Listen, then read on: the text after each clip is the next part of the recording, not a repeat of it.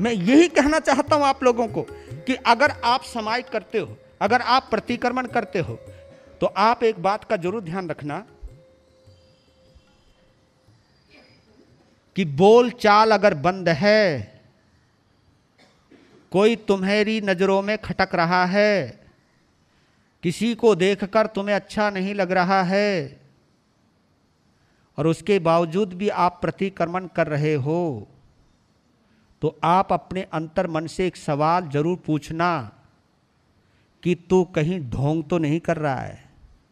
तू कहीं पाखंड तो नहीं कर रहा है? तू केवल धार्मिक क्रिया तो नहीं कर रहा है?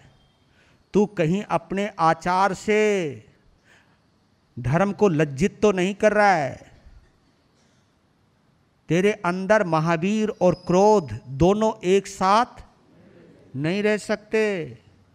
या तुम्हारी बात बोलो कि तुम्हारे अंदर महासती चंदन बाला और आग की चिंगारी दोनों एक साथ नहीं रह सकती। अगर चिंगारी है तो समझो महासती चंदन बाला गई हाँ गई। फिर करते रहो मिच्छा में दुकड़म बंद कमरे में। और सामने वो आ जाए नु तू क्यों आयो? तेरी शकल देखनी नहीं, यहाँ नहीं बैठना, वहाँ बैठ।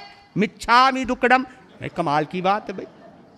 ये कौन सी मिच्छा में दुकड़म है भाई? आपको सोचना होगा कि धर्म को कहीं आप ढोंग तो नहीं बना रहे। धर्म हमें ढंग से जीना सिखाता है। क्या बोला मैंने? धर्म हमें ढंग से जीना सिखाता है।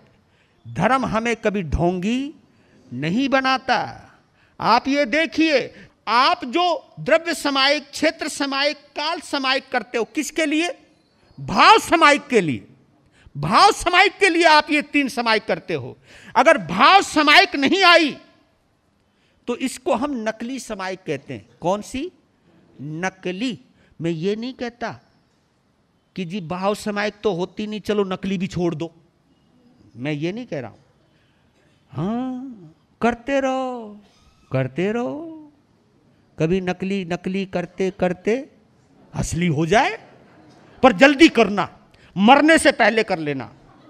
हाँ कभी मरने के बाद तो कुछ कर नहीं पाओगे, मरने से पहले भाव समायिक ज़रूर कर लेना।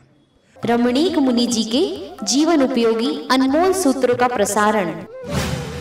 रमणीक वाणी। ज़रूर देखें।